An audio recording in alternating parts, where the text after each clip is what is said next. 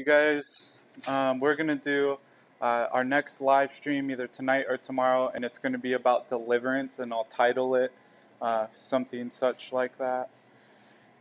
And we're going to talk about how you, you can be delivered, you guys, from um, with the authority. Okay, now there's other things where Scripture it talks about people being delivered, but um, there's also the authority that you can wield to to exercise your right and authority to break completely free from generational stuff or familiar spirits and things like that.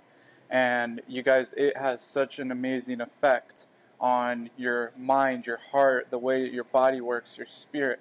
You're, you're basically, um, uh, familiar spirits are things that follow, uh, that will follow your, your family, right? And so we're going to talk about how to get completely rid of those things. But you guys, I'll tell you this, it does take a long time.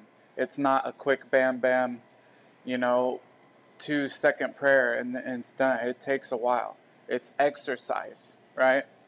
And another thing I wanted to talk about was, you know how those people, you know, we've had these um, rappers and they they'll they'll say something on their rap and then it'll happen. Like there's been rappers who have talked about dying at certain ages, and it's happened. You guys, this is what this is what has been happening with the Lord pouring out His Spirit, and with the spirits that are throughout all of the uh, all of the earth, and um, that it happens that when people say stuff, they manifest it, right?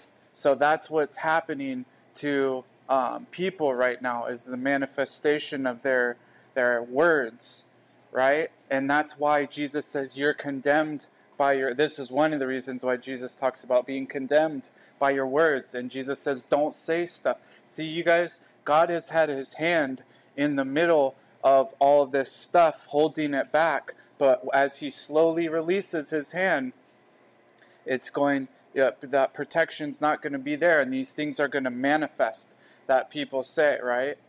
And so um, I encourage, I hope, and I'd like for everybody, if everybody could, you know, or anybody could join the uh, live stream uh, either tonight or tomorrow. Uh, I love you guys. God bless. Peace.